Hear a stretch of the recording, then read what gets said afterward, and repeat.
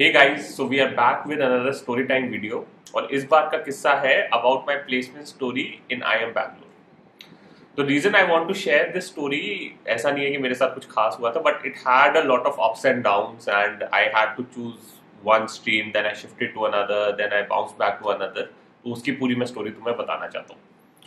So before we get into IIM Bangalore, I just want to tell you that before IIM Bangalore, I was working with a bank as equity research analyst in their back office. तो मेरा दो साल के आसपास का experience already था इस field में।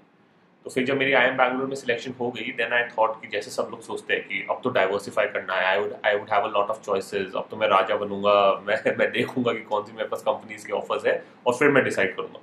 तो मैं भी ये सोच के गया था चलो यार, देखते हैं क्या क्या ऑफर्स मिलेंगे इंटर्नशिप वगैरह के, उसके बाद डिसाइड कर लेंगे बैंक में क्यों जाना है। फिर सोच के मैं घुस गया आई एम बैंगलोर रेज्यूमे वेज्यूमे डाले, जब समर इंटर्नशिप्स आई जब शॉर्टलिस्ट आई तो फट ली। एक भी कंसल्ट ने मुझे शॉर्टलिस्ट नहीं किया था। मेरे ख्याल से एक तो छोटी छोटी ने किया था। uh, लेकिन जो मेन वन है मैकेंजी बीसीजी बेन किसी ने मुझे शॉर्टलिस्ट नहीं किया था क्योंकि मेरा रेज्यूमे था ही नहीं consult conducive my resume always talked about finance क्योंकि मेरे सारे रोल्स कोर्सेज सीएफए सब फाइनेंस रिलेटेड था। तो कंसल्ट से तो कोई घंटा शॉर्टलिस्ट आई। बैंक से थैंकफुली सारी शॉर्टलिस्ट आ गई थी। तो मैंने कहा यार अब क्या करें? घंटा डाइवर्सिफाई होगा। तो कंसल्ट की तैयारी तो करने का कोई लॉजिक ही नहीं है जब शॉर्टलिस्ट नहीं आई तो बैंक पे फोकस करते हैं। तो बैंक पे फोकस करना शुरू कर दिया। बैंक की तैयारी इज़ वेरी स्ट्रीमलाइन की तुम्हें पता है कि तुम्हारे जो वैल्यूएशन के कोर्सेज है उसको रिवाइज करना है जो तुम्हारे पुराने फाइनेंस के फंडे है वर्किंग्स है उनको देखना है। तो वो हम मैं कर रहा था साथ के साथ। लेकिन मैं देख रहा था कि अलग ही माहौल है कैंपस में यार। कंसल्ट वाले एक तो कंसल्ट की शॉर्टलिस्ट इतनी आती है। हर कंसल्ट कम से कम आई थिंक पचास की शॉर्टलिस्ट तो निकालती है। चलो, तीस की तो निकालती होगी। और ऐसे चार पाँच कंसल्ट है तो उसमें डेढ़ सौ बच्चों की शॉर्टलिस्ट आ रखी थी। वो बात अलग है कि मैं उनमें नहीं था। तो यानी मेरा रेज्यूमे कितना खराब होगा हम कंसल्ट परस्पेक्टिव लेकिन वो डेढ़ सौ बच्चे बेचारे लगे हुए हैं। दिन रात ऑन दी कंसल्ट प्रेप तो देख के एक तो फट लेती थी। कंसल्ट के केस ग्रुप्स बन जाते हैं। People are working every day talking to one another solving cases mentors calls होती रहती है उनकी, सबको मेंटर असाइन हो जाते हैं कंसल्ट से। सबके, सबकी रेगुलर इंटरवल्स में मेंटर कॉल्स होती है। फिर इनके कंसल्ट के डिनर्स होते हैं लंचेस होते हैं इनफॉर्मल मीटिंग्स होती है। और हम बस देख रहे क्योंकि बैंक तो हमारे साथ कुछ करते नहीं थे। तो एक तरफ़ तो मैं थोड़ा सा खुश था कि यार चलो इतनी सीपी नहीं मारनी पड़ती, जितना कंसल्ट वालों को मारनी है, क्योंकि मेरे बस की भी नहीं थी। लेकिन frankly it was also case of अंगूर खट्टे, क्योंकि बहुत फोमो होता है यार, कि हमारे साथ तो कुछ नहीं हो रहा। हमारी बस शॉर्टलिस्ट आ रखी है, उसके बाद से कंपनी हमको पूछ नहीं रही है, और कंसल्ट वालों के साथ कोई ना कोई इवेंट होता जा रहा है ऑन रेगुलर इंटरवल तो थोड़ी सी फटली थी बट अगेन सीपी नहीं मारनी पड़ रही थी तो दैट वाज गुड तो मैंने यार एक दिन, मेरे को मेल तो आई रखी थी कि यार तुम्हारे ये मेंटर है, इस बैंक में, जिसमें शॉर्टलिस्ट आ रखी थी बैंक वगैरह में। तो एक जो बैंक जो एक दो बैंक मुझे जो पसंद थे, मैंने कहा, यार, मैं ही रीच आउट कर लेता हूँ। तो कोई मेरे साथ कुछ कर नहीं रहा है। मेरा मेंटर तो मैंने उसको मेल डाली कि बात कर लेते मेरी शॉर्टलिस्ट आई है। तो उसने तो एक तो वो बिज़ी इतना था। फिर उसने दो तीन बारी रिस्केड्यूल करने के बाद फाइनली वो कॉल पे आया। उसने कहा हाँ बता। मैंने कहा, sir I want to be an investment banker because टक टक टक। उसने कहा, भाई, काम क्या है? इन्वेस्टमेंट बैंकर तो तू बनना चाहता है, तभी तूने रिज्यूमे डाला है। काम क्या है?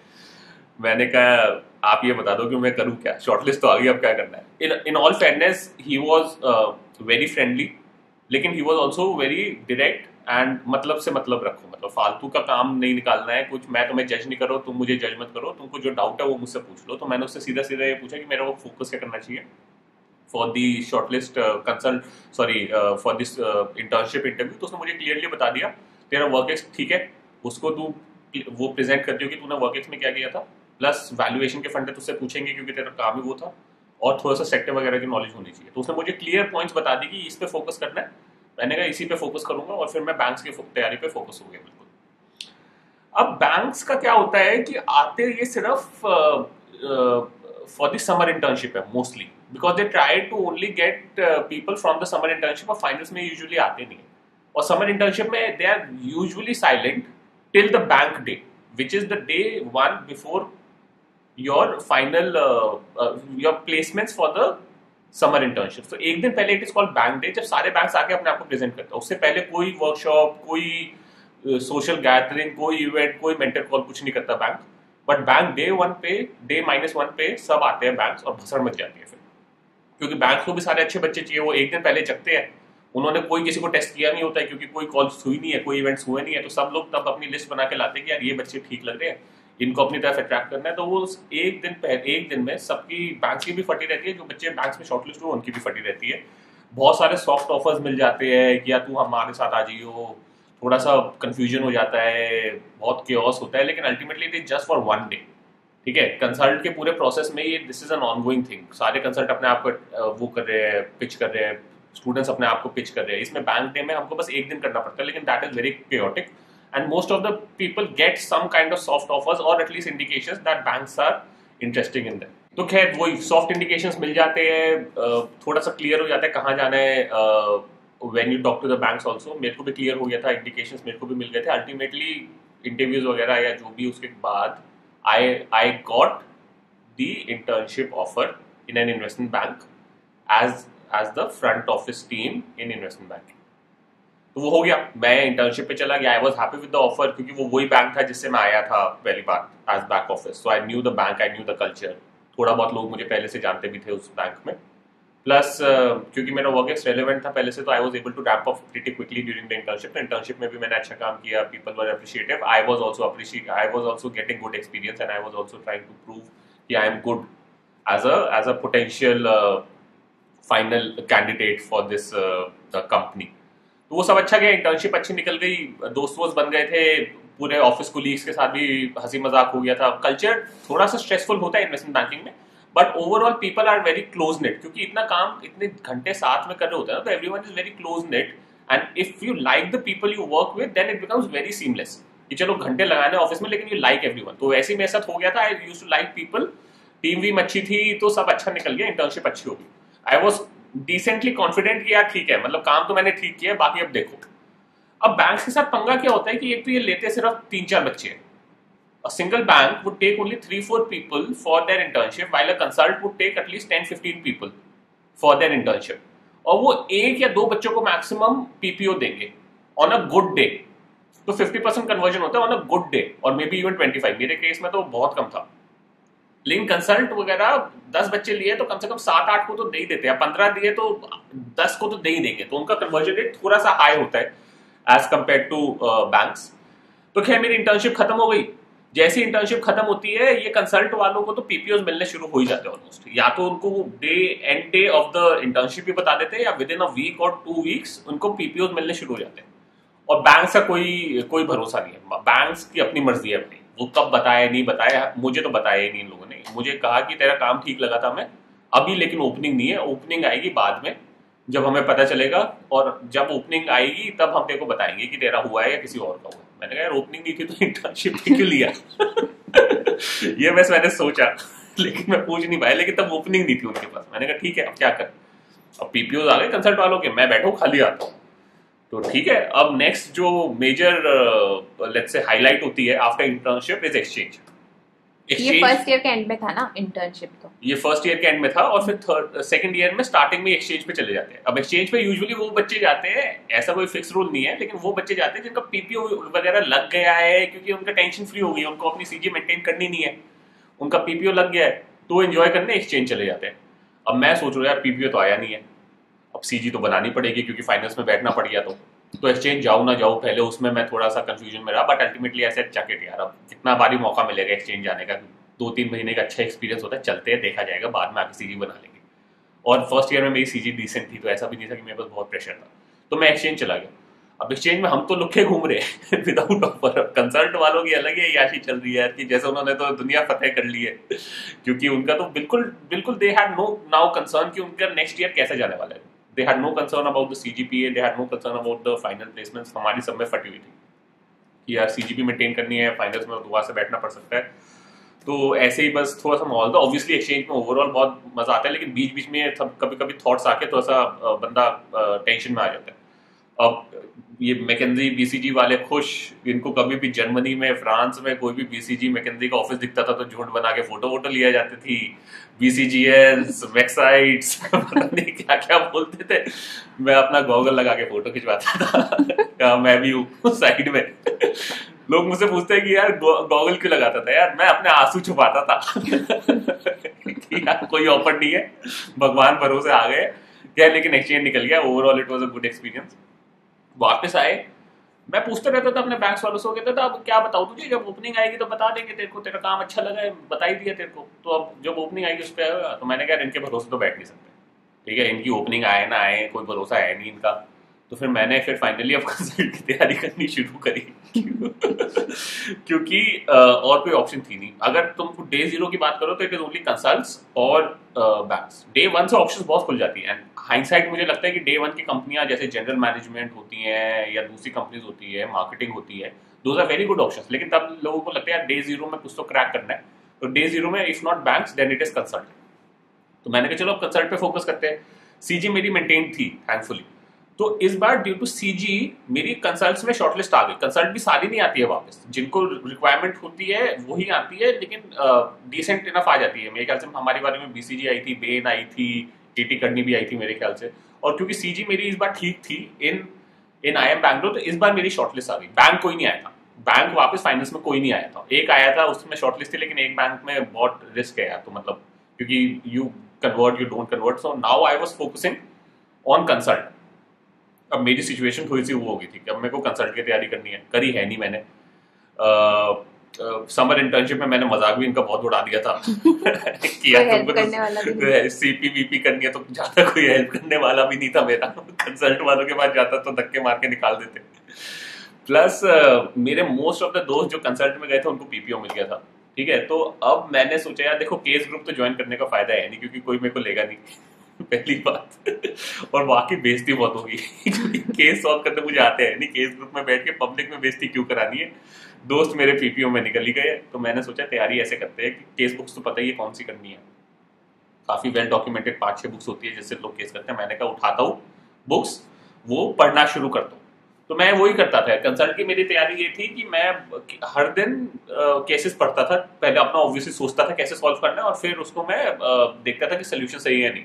कुछ डाउट होता था तो लोगों से पूछ लेता लेकिन I was only doing it solely on my basis मैंने कोई केस ग्रुप नहीं ज्वाइन किया था which is slightly different and not recommended क्योंकि केस ग्रुप से you get a lot of viewpoints खैर लेकिन मैंने जो भी किया मैंने फिर केसेस ऐसे ही पढ़ता रहा मैं सॉल्व करता रहा अपने हिसाब से और uh, ऐसे ही मेरा चल रहा था।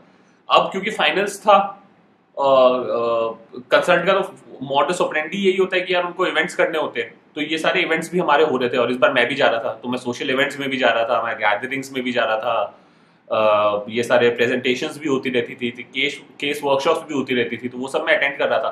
ठीक है? तो थोड़ा आउट ऑफ़ प्लेस मेरे को लगता था तो मेरे को भी थोड़ा था यार सीपी मारनी है। और मेरे को जेनविनली uh, ऐसा नहीं कि सीपी मारनी है but you still need to get attention on yourself now you need to stand out from the rest of the shortlisted guys या girls so that people remember you. So, it is very important also and tactical also that you raise your hand during these events and get noticed. तो वही सब करने की कोशिश करते हैं। अब मैं अपने हिसाब से तो जेनवनली कोशिश करता था कि यार मैं जेनवनली ये करूँ with with serious questions and serious intent लेकिन कभी कभी वो बहुत फनी हो गया। अब जैसे एक मेरे को याद है इवेंट है, याद है मेरे को कंपनी याद नहीं है। उसमें सब लोग से पूछ रहे थे कि tell me the most unique thing about yourself तो यार कोई बोल रहा है कि मैं तो मैंने, मैं गोल्ड मेडलिस्ट था अपने अंडर में, मैं स्पोर्ट्स में बहुत स्टट था, मैं सिंगिंग में बहुत अच्छा था। मेरे एक्स्ट्रा करीज घंटा कुछ थे। मैं, मेरे पास आए जा रहे थे जैसे मतलब वो ऊपर लाइन से शुरू हुए। तो जैसे मेरे पास पहुँच रहे थे, मेरी फटे जा रही थी। मैं यूनिक क्या बोलूँ अपने बारे में? क्योंकि मेरी कोई पीओ आर या एक्स्ट्रा करीज इतनी कोई यूनिक तो नहीं थी compare to other shortlisters तो मैंने कहा देखा जाएगा। मेरे पास आए, मैंने कहा sincerely with all my heart I believe I am the most good looking person in this group मैंने जेनवनली ये बोल दिया।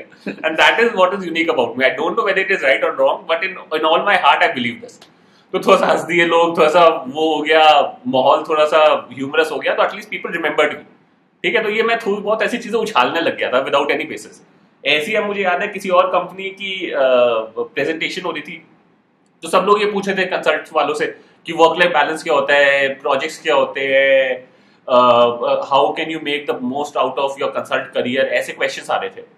और मेरे को एक जेनवन डाउट था, और मैंने ऐसे इनकी बेइज्जती करने के लिए नहीं पूछा था। मैंने कहा था, यार देखो, बाकी कंपनीज़ की इंडिविजुअल विजन होती है, ठीक है? क्योंकि तुम, अगर तुम किसी टेक कंपनी में हो तो उसकी विजन है यार कि मेरे को टेक वर्ल्ड में इनोवेशन लानी है। अगर मैं किसी मैन्युफैक्चरिंग में हूँ तो मेरे को बेस्ट प्रोडक्ट बनाना है। ये सारी विजन उनकी इंडिविजुअल एसोसिएटेड होती है, वो जो काम कर रहे हैं। अब ये तुम्हारी कंसल्ट जो है, ये तो इनको सिर्फ़ एडवाइस कर रही है। They are improving their operation ठीक है? तो they are helping them get their vision right but what is a vision of a consulting company तो मैंने ये पूछ लिया। तो पहले तो उनकी थोड़ी फटली अब मेरा कोई मतलब भी नहीं था। मेरे को तो अभी तक अपना भी सवाल नहीं समझ आता। कभी कभार कि मैंने क्या पूछा। लेकिन उस क्वेश्चन पे कम से कम पंद्रह बीस मिनट तक चला। जितने भी कंसल्ट है उनकी टीम आई हुई थी ना from junior most to senior most सबने मेरा आंसर का जवाब दिया। ना उनको क्या आंसर समझ आया ना मुझे समझ आया क्योंकि क्वेश्चन ही थोड़ा सा ऊट पटांग सा था। लेकिन एटलीस्ट पीपल न्यू कि अच्छा यार विजन भी इसको ज़रूरत है कंसल्ट में। तो, तो उससे मैं याद रह गया। फिर ऐसी एक केस केस वर्कशॉप हो रही थी तो उसमें ना ये तुम तुम जिसने भी कंसल्ट की तैयारी करी है ना या जिसने भी करोगे ये तुम ज़रूर सुनोगे कि केस केसेस में there is always an optimum point जहाँ पर तुम पहुँच जाओ then you should be just comfortable then you don't need to overdo your case prep और that optimum point supposedly is that कि जब तुम पीक हिट कर दो ना you are doing well you are you are consistently performing well in your case workshop और case groups then you just stop then you take it a bit light और थोड़ा सा तुम बस उसको मेंटेन करने की कोशिश करो। तो वही मैं हमको समझा रहे थे उस वर्कशॉप में कि once you hit the peak तब तुमको रुक जाना चाहिए। अब मेरी घंटा कोई पीक आई थी, क्योंकि मैं तो खुद ही बुक्स पढ़ता था, खुद ही केसेस करता था। तो मैंने कहा मुझे पता कैसे चलेगा कि पीक आ गई? क्योंकि लेट से मैंने कि एक दिन मैंने अच्छा केस किया। मैंने कहा, यार, ये पीक लग रही है। ये पीक लग रही है। लेकिन ये लोकल मैक्सिमम भी हो सकता है। अगले दिन मैंने इसे अच्छा कर दिया। मैंने कहा अच्छा नहीं, पीक नहीं थी। अगले दिन वाली पीक है। अगले दिन मैंने वापस अच्छा कर दिया। मैंने कहा अच्छा नहीं, ये तो नहीं ये तो पीक है। अब अब ये पीक है। और फिर अगर चौथे दिन मैंने हक दिया, मैं वापस नीचे आ गया तो मैंने कहा, वो पीक पीक मिस हो गई। तो मैं वापस कैसे जाऊँ? तो मेरे को कैसे पता चलेगा मेरी पीक आ गई है? खैर, उसने भी कुछ बोला, मेरा भी सवाल ऐसा ही सा था तो उसने भी कुछ बोला, खैर तो इन चक्रों के कारण ना एटलीस्ट लोगों को मैं नज़र में आ रहा था कि ठीक है, ये कुछ तो उठ पटांग सा आदमी है। तो आई वॉज़ कंसल्ट में मेरा थोड़ा बहुत हो गया था कि at least people remembered me I don't know whether I was in their hot list और नॉट लेकिन रिमेंबर तो कर रहे थे लोग। फिर, खैर long story short final placement हुई मेरा बैंक अभी तक ओपनिंग ढूंढ रहा था। तो मेरे को पीपीओ मिला नहीं फाइनल प्लेसमेंट हो गई। मेरा थैंकफुली एक ढंग की कंसल्ट में इंटरव्यू सही चला गया। I got an offer from that consult अब कंसल्ट से ऑफ़र आ गया। अब I have made my peace की ठीक है यही करेंगे, देखते हैं, एक साल, दो साल, या हो सकता है अच्छा ही लगे कंसल्ट ऐसी क्या बात है, सब लोग जाते ही है। तब अचानक से आफ्टर फाइनल प्लेसमेंट मेरे बैंक को याद आया अच्छा ये भी तो था। इसका इंटर्न था ना हमारा कोई। तो मेरे को आउट ऑफ़ द ब्लू एक दिन फ़ोन आता है कि यार अब ओपनिंग आ गई है। और इन चार इंटर्न्स में से तू सही लग रहा है तो तेरे को हम पीपीओ अब दे सकते हैं। मैंने कहा पीपीओ का मतलब होता है प्री प्लेसमेंट ऑफ़र पोस्ट भी हो सकता है। पोस्ट भी हो सकता है। लेकिन प्री प्लेसमेंट ऑफ़र होता है मेरी प्लेसमेंट हो चुकी है। अब क्या करूँ मैं? कहते यार देख ले देख offer is yours to take if you sort out your campus formalities अब मैं कंफ्यूज अब मेरे को देखो जेनवनली जाना तो बैंक में था क्योंकि मेरी इंटर्नशिप अच्छी गई थी मेरे को बैंक का कल्चर अच्छा लगा था मेरे को लग रहा था मेरा प्रायर वर्क एक्सक्यूज हो जाएगा तो मेरे को जाना तो बैंक में ही था after getting an offer from consult also तो मेरे को लगा कि बैंक में जाना है तो मैं हाथ पैर तो मारता हूँ। तो फिर मैं अपने प्लेसमेंट कमिटीज uh, वगैरह से बात करने लग गया अपनी कैंपस के प्लेसमेंट टीम से बात करने लग गया तो उन्होंने थोड़ा तो obviously this is not recommended और इवन इनकरेज कि तुम यार प्लेसमेंट में बैठ जाओ फाइनल में फिर तुम छोड़ो। तो थोड़ा बहुत हो हल्ला मचा। एक मेरे को किस्सा याद है मैं अपनी प्लेसमेंट हेड के पास गया था। Uh, वो बोलती है कि ऐसे कैसे कर सकते हो तुम? मैंने कहा मैम मेरी क्या गलती है इसमें? मैं तो प्लेसमेंट में बैठा था ये सोच के कि मेरे को पीपीओ नहीं मिला। पीपीओ आ गया है तो मैं क्या करूँ? I want to choose that कहते नहीं तुम ऐसे नहीं कर सकते। अगर तुमने कंसल्ट का ऑफ़र छोड़ा तो मैं तुम्हारा गोल्ड मेडल ले लूँगी तुमसे वापस. मेरे को कौन सा गोल्ड मेडल मिल रहा है? मैंने सोचा she was maybe confusing me with someone else मैं कोई टॉप फ़र्स्ट टू रैंक नहीं था। मेरे को कोई गोल्ड मेडल नहीं मिलना चाहता था। मैंने कहा ma'am I feel very strongly about it you take my gold medal away because I don't have it because I don't have any तो वो भी थोड़ा सा चौंक गए फिर उसको बाद में खैर रियलाइज़ हो गया कि मेरे को कोई गोल्ड मेडल नहीं मिल रहा। खैर सब सॉर्ट आउट हो गया। फाइनली कैंपस अग्रीड कंसल्ट वालों से मैंने थोड़ा सा सॉरी वॉरी बोल दिया। और फिर मैं फाइनली चला गया अपने बैंक में। and that is where I am. I am still working. Thankfully, it worked out for me. I don't know consult wala kaise jata. Maybe it would have been uh, good as well. But and finally, this is the story. I joined the bank uh, and I'm still in that bank and hopefully uh, let's see till till when I remain in the bank but at least that is my placement story.